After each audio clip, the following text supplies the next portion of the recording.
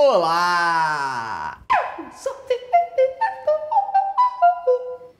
Seja bem-vindo para mais um vídeo. Hoje é dia de top 10. Estão gostando das listas que a gente tem feito aqui? Trazendo sempre o, o, top 10 de alguma coisa? Quero fazer um top 10 looks de Bruno Correia. Ia ficar bom, hein? Olha aí uns exemplos. Ia dar pano pra manga, hein?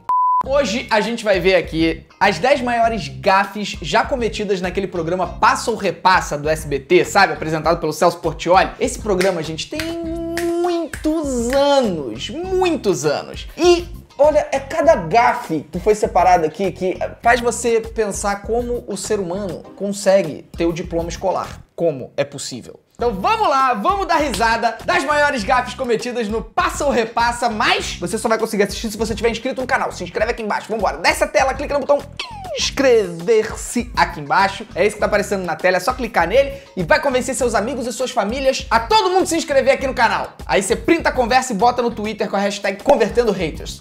Bora! Número 10! Felipe. Que? Não vai me dar parabéns, não?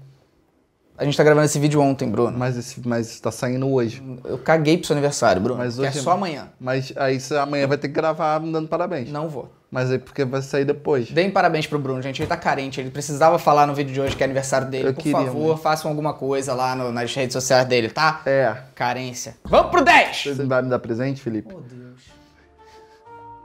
Eu tô esperando um bolo, presente. Corta o, micro... Corta o microfone dele.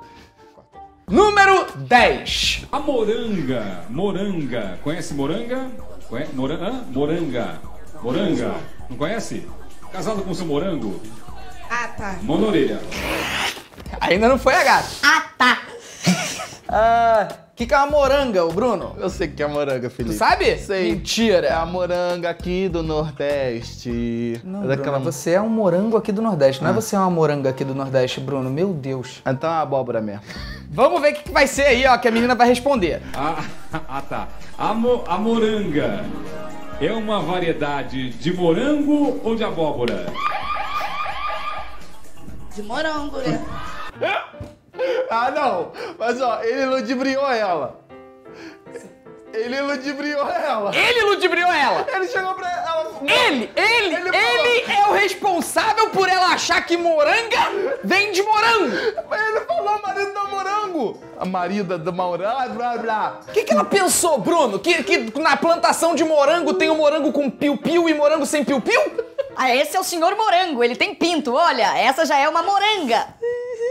Pra quem não sabe, isso é uma moranga, gente. É uma abóbora. Deus, Cristo, o que, que por quê? Como? Essa foi a número 10. Essa Então imagina nem- o que, que vem por aí. Essa nem foi tão, tão de julgar assim, Felipe. Por isso que ficou em décimo. Tá bom, tá já justo. E além das 10 aqui, vão ter quatro extras lá no aplicativo. Então já baixa o app na Google Play, na Apple Store, baixa pra você ver os quatro bônus que vão estar lá no aplicativo. Vamos lá.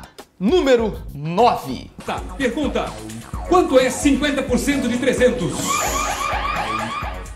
25. O que que ela falou? 25.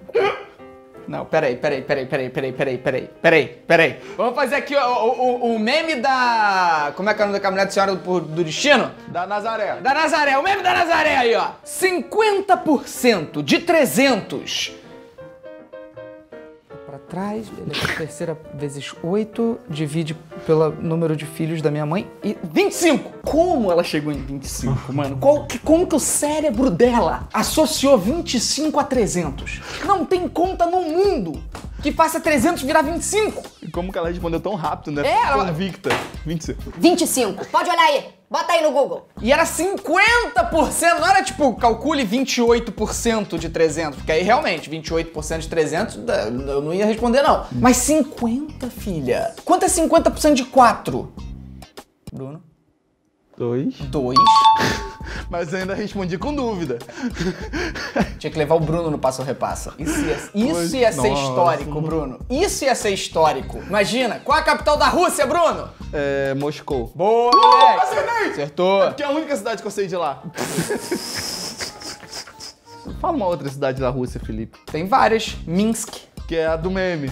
Que meme? Do cara lá do meme. Não, essa é Samara. Caraca, Bruno, tu não sabe nada. Minsk era o cara do Friends. Era o cara de Ah! Friends, é isso aí. Bruno, qual é a moeda do Canadá? É dólar canadense. Boa, Hoje moleque! eu fui afiado. Hoje tu tá que tá. E qual é a capital do Paraná? Aí você me pegou. Aí tu, tu complica a situação. Capital do Paraná, Bruno. Paraná, qual é a capital do Paraná? É, hum, Curitiba. Acertou! Acertou! Moleque! Agora vamos para a posição número 8 do nosso ranking de gafes do Passa ou Repassa. Vamos, vamos. Letra C. A- Aramaico. Esse aqui é muito bom, porque essa é a gafe que não é cometida por um dos participantes. É uma gafe cometida pelo Celso Portioli. é, tem. A pergunta era: que idioma Jesus Cristo usava em suas pregações? E as respostas eram Elf, Klingon e Aramaico. Eu só sei porque eu conheço os outros dois. Mano, pelo amor de Deus. Aí beleza, acertam Aramaico. Agora olha o que, que Celso Portioli vai falar. Certa resposta, aramaico, muito bem. Élfico é idioma dos elfos da série Senhor dos Anéis. Glingon é Jornada nas Estrelas. Não, você não viu o que ele falou? Bota de novo, produção. Élfico é idioma dos elfos da série Senhor dos Anéis. Senhor dos Anéis. Senhor dos Anais. Mentira! Mentira! Senhor dos Anais. Senhor. Não dá nem pra fazer piada com isso. Sem, sem de- ter que botar o mais 13 aqui no canal. Né? Senhor dos Anais. Vou até deixar aqui uma homenagem póstuma e um beijo enorme pra Jailson Mendes, que marcou o coração de todos os brasileiros. Ele se foi de fato. Não é pra rir. Eu não Para de quero rir. Mas ele era um meme e, ah, mais do que isso, ele foi um ser humano que alegrou muita gente, muita piada foi feita. E fica aí um beijo pra toda a família do Jailson. E foi uma tragédia de fato. Vamos pro próximo, número 7. Esse do 7 é da época que a Angélica apresentou o Passo Repassa. Olha só quanto tempo tem esse programa. Vai! São os três estados do Brasil cujos nomes começam com a letra S. Três estados do Brasil que começam com a letra S. Vamos ver! Os três estados. Salvador, Salvador! Santos, Estado. Salvador e Santos é estado desde quando já errou. Seria São Paulo, Santa Catarina e Sergipe. Olha, é... Ela falou Salvador, eu falei, boa minha! Vamos ver qual que ela vai errar. Olha, o que eu penso é como essa pessoa conseguiu o diploma da escola. De verdade. De verdade. Se você não sabe a diferença de cidade pra estado, mano, por que, que ela não falou Sorocaba no final? Tá vendo? Ela quer falar qualquer coisa. É, é, Salgueiro. Fala tudo, fala escola de samba. Sócrates. Fala qualquer coisa, mano. Somália. Vamos para o número 6. Qual é a quarta vogal do nosso alfabeto? Mano, a pergunta é: qual é a quarta vogal do nosso alfabeto? Pra você não saber essa resposta, o seu QI tem que ser proporcional de um porquinho da Índia. Tipo, você tem que sair do programa de coleira, porque não é possível. Se você não sabe a quarta vogal do alfabeto, mano, você não é alfabetizado. Isso é preocupante. Vamos ver o que, que ele responde. Qual é a quarta vogal do nosso alfabeto? Co- Uh, uh, rapaz, que isso?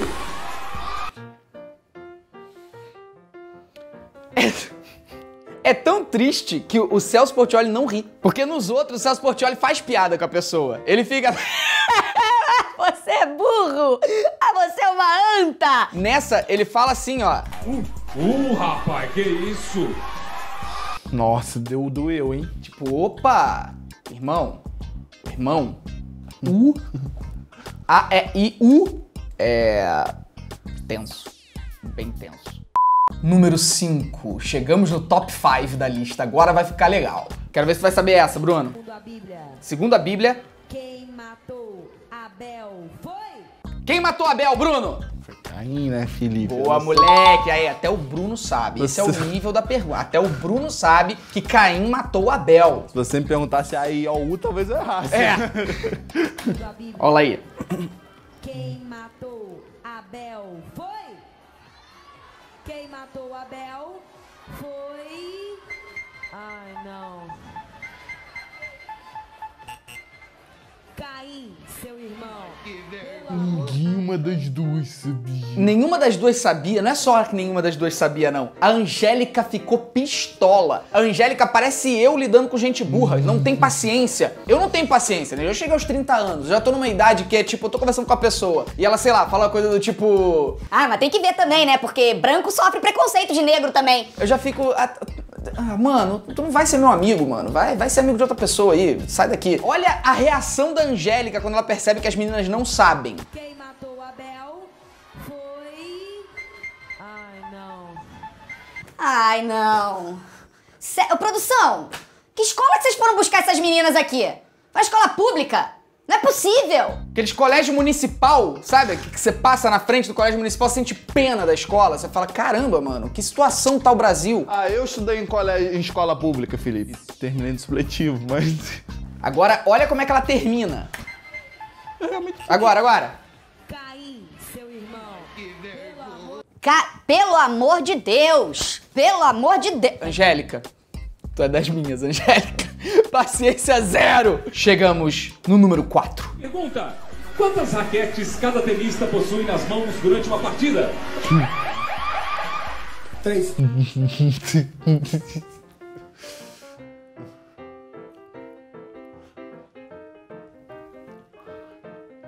Que campeonato de ping-pong de polvo é esse que esse sujeito tá assistindo? Quantas raquetes nas mãos um tenista tem durante a partida?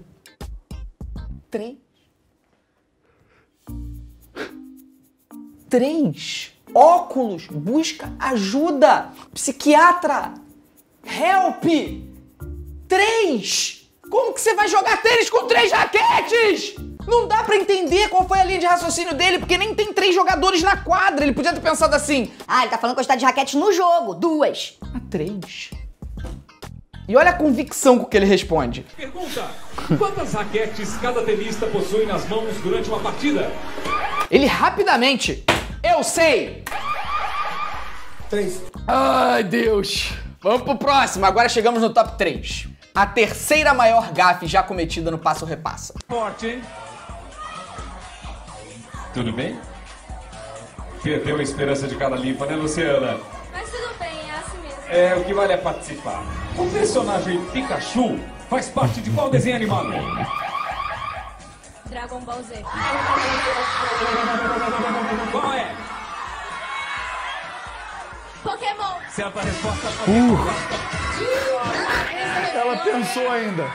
Eu fiquei com muito medo da menina, da outra menina virar e falar: Cavaleiro Zodíaco. Xuxa! Olha, como que você pode. Pikachu, Dragon Ball Z. E o pior é que ela não fala só Dragon Ball, ela mostra que sabe que tem o Z. Dragon Ball Z. Pikachu. Imagina o Pikachu no Dragon Ball Z, mano. O Vegeta olhando pra ele, ele. Pi! E o Vegeta. "Ah, ah, ah, ah." Ah! É mais de 8 mil! Olha, seria interessante botar o Pikachu no Dragon Ball Z. Aliás, tá aí uma coisa que falta nos animes, ter mais crossover, né? Aparecer o maluco do Death Note, assim, dentro do maluco do... Não sei nenhum outro anime da atualidade. o que que tem além de Death Note? One Piece, isso aí. Naruto! Mas é por isso que existem os jogos. Que aí bota um pra porrar o outro, né? Fica todo mundo Exatamente. se batendo. Entendi. Bom, depois do Pikachu no Dragon Ball Z, vamos para o número 2. A segunda maior gafe cometida. Pior que essa? Pior, Bruno. Quero ver agora. Silvia tinha 13 anos quando João nasceu. Se hoje João tem 5 anos, quantos anos tem Silvia? Deu pra entender, né? A Silvia tinha 13 anos, o João nasceu. Se passaram 5 anos. Quantos anos tem a Silvia? Passa. Responde. Qual a resposta? 23. Conheço ele, fez supletivo comigo.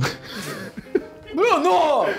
Eu não sei o que que acontece nesses programas, não. Não sei o que acontece. Será que a pessoa fica muito nervosa por estar num programa e aí ela soma 13 mais 5, 23? ou, ou, ou, não sei, eu não sei o que é. Eu não sei. Ou talvez, de fato, as pesquisas estejam certas e a maioria da população brasileira seja analfabeta funcional.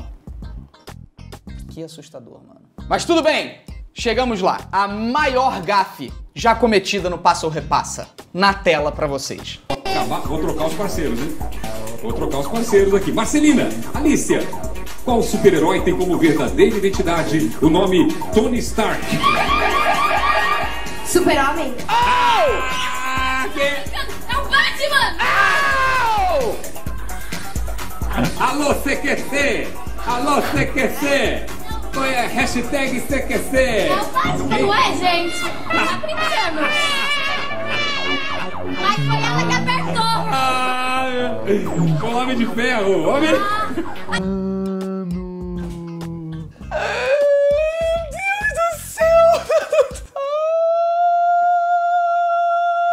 Ela podia falar, não sei, já ganhei, pão de batata, mas não, ela quis se consagrar. É o Batman! Tony Stark. Eu podia falar até Jorge. Podia falar qualquer um, Bruno. É o Curupira! É o Saci! Só não podia falar Batman. E essas foram as maiores gafes da história do Passa ou Repassa, galera! Corre no aplicativo agora porque tem quatro bônus lá, tem mais quatro gafes exclusivas, é de graça, é só baixar o app e assistir Google Play ou Apple Store. Valeu? Um beijo bem grande, vai assistir esse outro vídeo aqui agora, vai lá! E se inscreve no canal, hein? Se inscreve e deixa o like. Valeu, tchau!